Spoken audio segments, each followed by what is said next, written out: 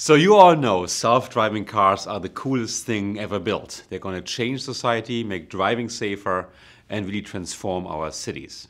This course, you can now learn all the basics, what it takes to program a self-driving car. In fact, you program it yourself.